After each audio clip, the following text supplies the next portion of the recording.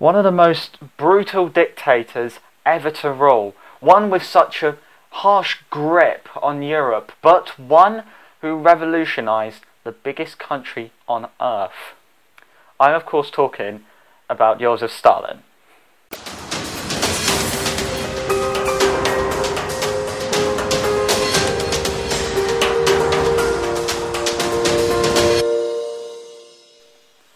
Now, Joseph Stalin was born into a Georgian family, so he wasn't actually Russian. But Georgia was part of the Russian Empire, so it technically counted back then. But he was born into a Orthodox Christian family. Now, his mother wanted him to go to school, become educated, and become a priest. But things would not turn that way. Now, at a young age, Stalin had contracted smallpox, leaving him with the pockmarked face that everyone knows him to have. And throughout his life, he began starting to read the works of Karl Marx and then eventually Vladimir Lenin, which then resulted to him joining an underground society known as the Bolsheviks. Now, Stalin wanted to prove himself in the Bolsheviks. I've I mean, I'm I'm not even going to pronounce his Christian name. Uh yeah. He wants to prove himself to Lenin.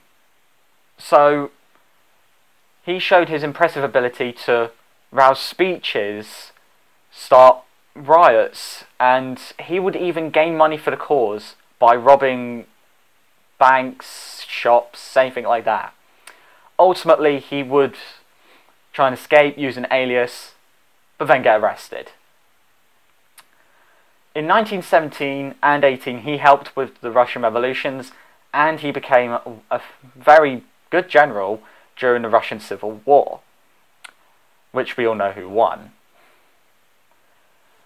Now, when Lenin became overall leader of the Soviet Union, he appointed Leon Trotsky, Stalin's rival, as vice leader, but let's just go vice leader of the Soviet Union, and appointed Stalin as his general secretary. Now, just before I go on to his general secretary, his name Stalin came because he wanted to hide his Georgian roots. And, ev- and, and few people in the Bolshevik party started throwing around Stalin, which in Russian meant man of steel and it fit the title perfectly, so he adopted it. Now, being General Secretary, anyone would think it's another office desk, but Stalin was very quick to notice the potential. He could take people in and out of meetings, he could make them early or late whenever he wanted to.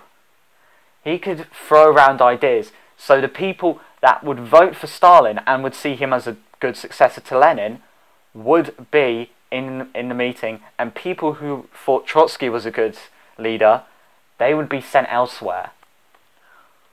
Obviously, with Lenin's death in 1924, then came a power struggle. But Lenin had wrote a testimony saying that he wanted Stalin removed from the Communist Party and Leon Trotsky to be head of the Soviet Union. This obviously, well, this letter fell into Stalin's hands and he had he he made Trotsky look bad in every way possible. He made him late to Lenin's funeral by giving him a wrong date. He started posting propaganda about him, and he even got to a point where he exiled him to Mexico, where he would live until his untimely death in 1940 by an NKVD assassin.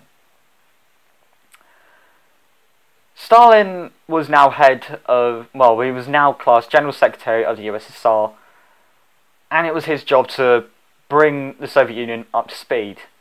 And he would do that through five, four, uh, five, five, three five-year plans. Ignore the hands. These were punishing. It extended quotas for for work. If anyone would fall below these quotas on a regular basis, they'd either be shot or arrested. It would well, it led to mass famines killing 5 million. Sources vary. But in the end, it turned the Soviet Union into an absolute industrial powerhouse, making it joint superpower with the US. Now, in the 30s, one of his, well, one of his rivals, who was also one of his mates, was killed. Now, many say that Stalin done this because he was a threat to power, but things are still a little iffy on that. But it gave Stalin an excuse to find his killer. First, he started with political advisors, and then he went to the general public. And this would become known as the Great Purge. He purged many political advisors, officers, leaders, and ultimately it killed roughly 1 million people in the Soviet Union. This would come back to bite him on the arse later. In, 1930, in August 1939, Stalin agreed to the Molotov-Ribbentrop Pact, uh, approved by Adolf Hitler, to invade Poland and carve up between them. And this would mean lasting peace for 10 years. Stalin was wary about this, but he was alright with it. It meant he could take parts of Europe and stay under the watchful eye of the Nazis. Until in, on the 22nd of June 1941, Hitler invaded. He sent 3 million troops in the largest land invasion ever known to man across the Soviet border. While uh, FDR and Churchill told Stalin that an invasion was imminent, Stalin still didn't believe them until obviously Germany dishonored the pact and Stalin went into a state of isolation and locked himself in his quarters for weeks, not speaking to anyone, while the, while the Red Army was being slaughtered. He obviously came out of his state of isolation and took personal control of the Red Army and managed to lead it from the river of the Volga all the way back to the gates of Berlin. Now that Germany was divided, the Cold War had begun, and Stalin was not at all ready to um, take on the West, but he knew he could threaten them and bluff.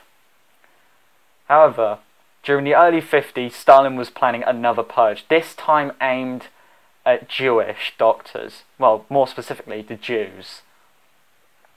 But before he could see it out, it led to him having a stroke on the 1st of March 1953.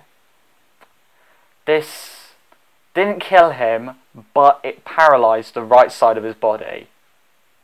And then, a couple days later, he awoke for a brief moment, not being able to do anything, until he then died on the 8th of March 1953. His successor would be a hard fought one between Lavrenti Beria, Georgy Malenkov, and Nikita Khrushchev. We all know who came out on top. It was our funny man Nikita Khrushchev. Stalin's reign over the Soviet Union caused the death of over 20 million Soviets. This was released in Nikita Khrushchev's secret speech, where he denounced what had happened across Stalin's reign. So, that is the life and death of Joseph Stalin. I hope you did enjoy. Let me know what you think about the tyrannical dictator in the comments below. And oh dear, that's a oh god, that's a oh, that's a group of bombers. I should probably man the AA guns. Oh, I'll I'll see you next time.